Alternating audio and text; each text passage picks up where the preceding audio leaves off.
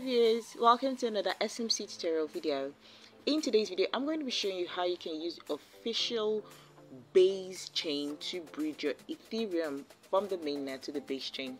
All right guys so in our previous videos we showed you how you can transfer funds from binance that is ETH on base chain from binance to your wallets like trust wallet and MetaMask but for this video let's say you already have ethereum right on the mainnet ethereum normal ethereum tokens and you want to bridge those Ethereum tokens to the base chain on your trust so that you don't want to move the funds out. This video is going to help you do this. Alright, so what you need to do is just open up your Trust Wallet app. Alright, once you open up your Trust Wallet app you put your code, and then um, your wallet is already funded with ETH. Here you can see that we have about $11 worth of ETH, and that's about 0.003 ETH on the Ethereum mainnet.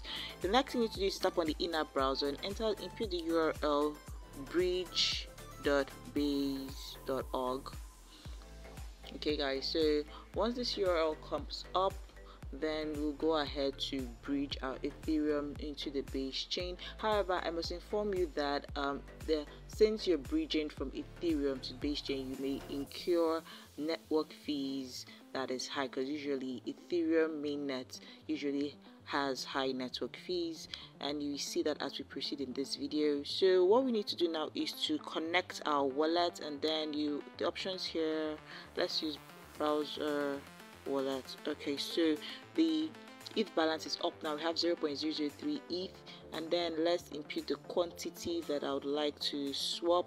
Let's say I want to swap 0.001 from Ethereum to base. You can see we have the deposit option here. And then the network is we're moving from Ethereum on the mainnet to base.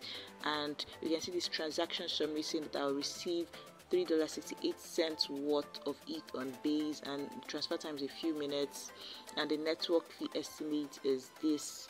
And the total with estimated fee is this. So let's tap on deposit ETH okay so let's wait for the next confirmation page to load up.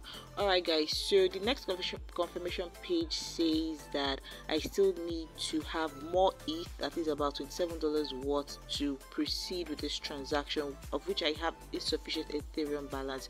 However if you do have the sufficient balance required for the network fees just go ahead to proceed with the transaction. And once you proceed with the transaction rest assured that once you head back to your home page and you head over to the ETH on the base chain network, you would see the equivalent of what you've breached from the Ethereum mainnet to the base chain. Okay, guys, so I hope this video has been helpful. If you do have any other question, rest assured that a team member will answer you once you put that comment in the comment section below. Sure to like this video, subscribe to this channel, and turn on that post notification bell for more educative content. See you in our next video.